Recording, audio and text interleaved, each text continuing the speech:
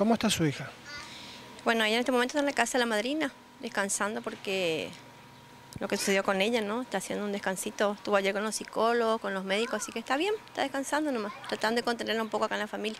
¿Qué le contó su hija?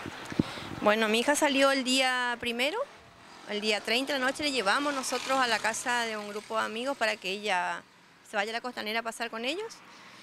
Y yo hasta las 7 de la mañana estuve en contacto con mi hija. Estaba bien y más o menos siete y media eh, dice que un vecino, que vecino de mi barrio donde yo vivo, le llamó para hablar con ella. Es tipo noviecito ella. Bueno, ella se accedió a hablar con él. Dice que estuvo con ella, después él se fue y le, le encerraron en el baño eh, cuatro chicos y no le dejaron salir. Y esos chicos eran también amigos de, mis hijos, ¿no? Juegan fútbol con ellos, son del barrio, les conozco a todos, inclusive soy colega de la mamá de uno de los chicos, otro chico, uno otro es mi amiga. Y le encerraron y bueno, y abusaron de ella a la fuerza, salvajemente, pues le tiraron del pelo, le rascuñaron, le golpearon. ¿En el baño? En el baño de la costanera, sí.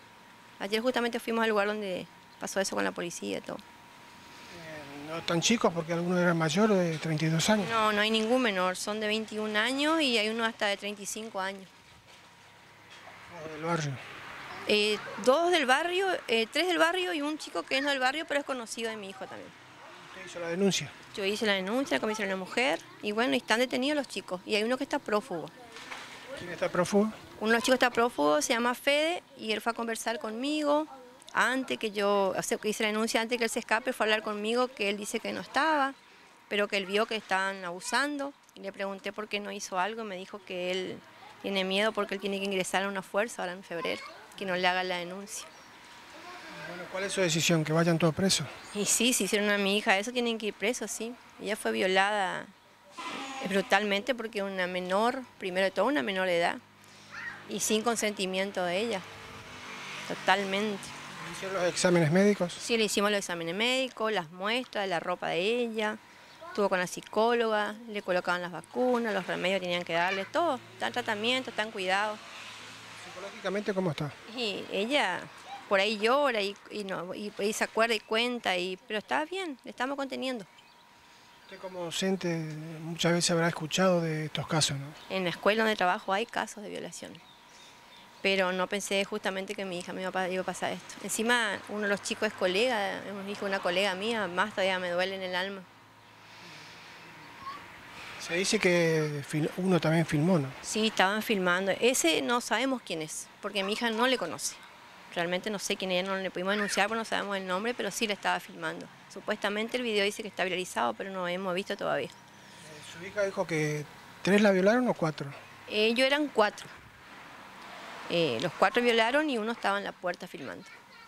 Total eran cinco chicos. ¿Participó también este chico que era amigo o noviecito de ella? Y él supuestamente él estuvo con ella y se fue. No sabemos si él le entregó o no, eso es lo que están investigando ahora. Ese es el tema con él. Está detenido también él. Sí. Espera que se haga justicia. Sí, es por eso que usted dice, si este chico no inocente va a salir porque no hizo nada, estuvo con ella y se fue. Pero si es culpable, sí, también tiene que... Con otros chicos sí son culpables porque abusaron de ella, le tiraban cerveza, se reían, le golpeaban, o sea, tienen que ir presos, sí. ¿Cuántos hijos tiene? Tengo cuatro, eh, son tres varones y es la única nena que tengo. ¿Los agresores vinieron a hablar con usted?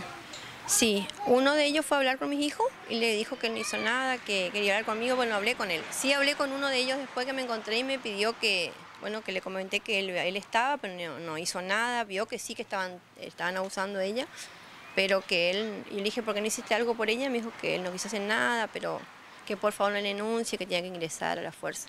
Sí, hablé con él y ese chico está prófugo ahora, no se le encontró todavía. ¿Cuál es la actitud que tomaron los hermanos de su hija? Y bueno, y ellos, primero le tuve que contener a mis hijos varones, porque es la única hermana mujer, y lógico que querían hacer, es, uno sabe de hacer por justicia por mano propia, pero no pueden hacer. Entonces hablé, le, le contuve y bueno, le dijimos hacer las cosas como corresponde. Hablé con mi hija también, que hacemos la denuncia. Me dijo, mamá, hace la denuncia, ya me violaron, yo le conozco, mamá, tengo vergüenza, me lastimaron. Y bueno, me acerqué con mi hija y hice la denuncia. Y espero que se haga justicia. confía que se va a hacer justicia. Totalmente confío.